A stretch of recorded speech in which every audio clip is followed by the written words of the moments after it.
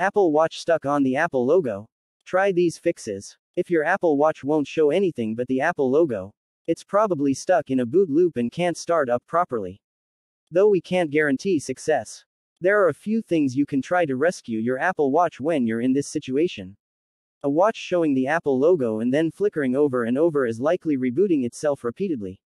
A problem sometimes referred to as a boot loop.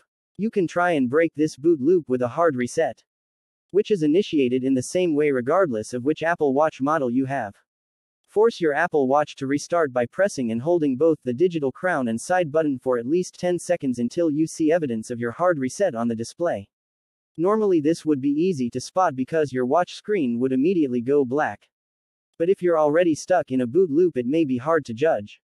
When you're sure your watch has been hard reset, give it 30 to 45 seconds to start up, from cold, again. You'll probably know pretty soon if this has worked since you'll either break the cycle or be stuck in it again.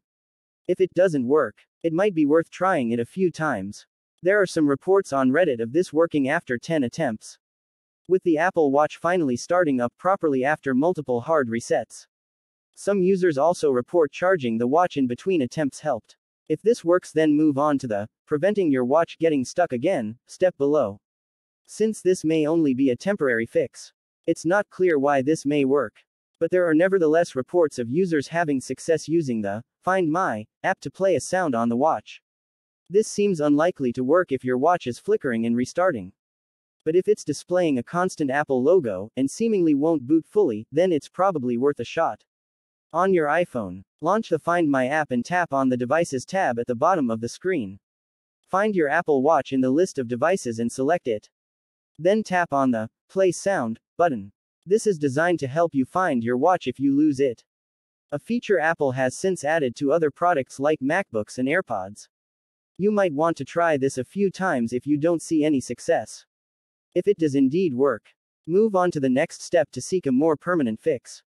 Even if either of the last two solutions worked for you, there's a chance your watch may succumb to a boot loop or static logo again. Ultimately, it depends on what caused your watch to get stuck in that state to begin with. It could be a software problem, which we can try to fix with the steps below. But in the event of a hardware problem, then there's probably not a lot you can do. The first thing to do is to try and update your watch software.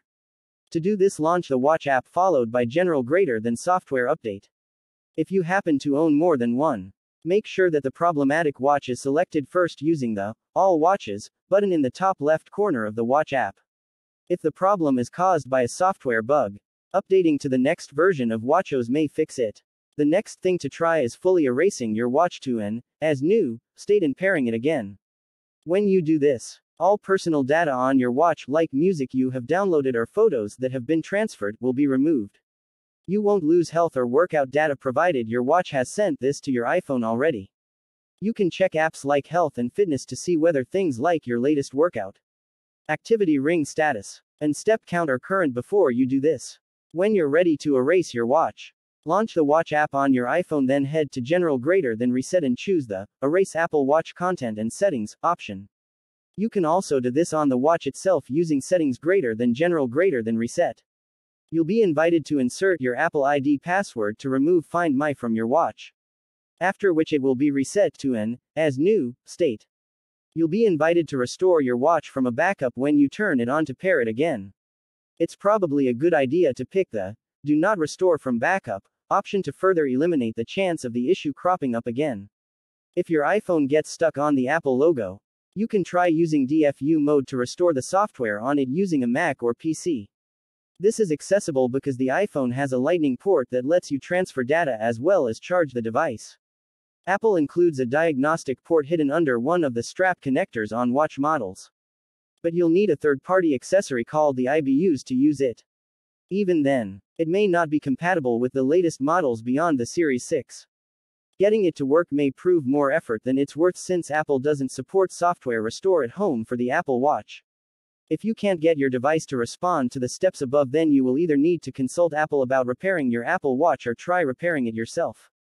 If your watch is still covered under warranty by AppleCare Plus, or by some sort of consumer law that states Apple must repair or replace it, defects will be taken care of for free. The exception is obvious damage to the watch caused by you. Like a dent in the chassis or a cracked screen. The problem could be caused by a failing battery that no longer holds enough power to start the watch properly. Or liquid damage caused by water ingress. These problems will be evaluated by Apple on a case by case basis. If nothing has worked, it's probably time to consult Apple about a repair. You can do this by making an appointment on Apple support with Apple or an authorized service partner. Be aware that Apple Watch repairs often require a few weeks to complete as they are not serviced in store like other devices. Apple won't charge you for simply looking at the watch, and they'll notify you of any fees you may incur before going ahead with the work. Repairs may be expensive, depending on the extent of the work required. Depending on how old your Apple Watch is, you may want to instead replace it with a new model rather than sink the money into service or battery replacements. Sentimentality may have some impact on your decision if your watch was a gift or engraved. But be aware that all Apple Watch models will eventually stop receiving updates and service coverage from Apple. The Apple Watch is a complex bit of kit, so DIY repairs shouldn't be taken lightly. You can find your model on the iFixit Apple Watch Hub to get an idea of what's involved in fixing your watch. Some fixes, like replacing the battery, will be a lot simpler than others. Your biggest challenge might be working out what is wrong with the watch in the first place. You'll then need to get hold of any parts you may need or salvage them from dead units on a reseller website like eBay. Apple refreshes the Apple Watch each year with new features, design decisions, and sensors for gleaning more information about your overall health. If you'd rather save some money, the Apple Watch SE is a budget option available in an aluminum finish. Whatever you go for, Make sure you learn all the top Apple Watch tips and tricks to get the most out of your device.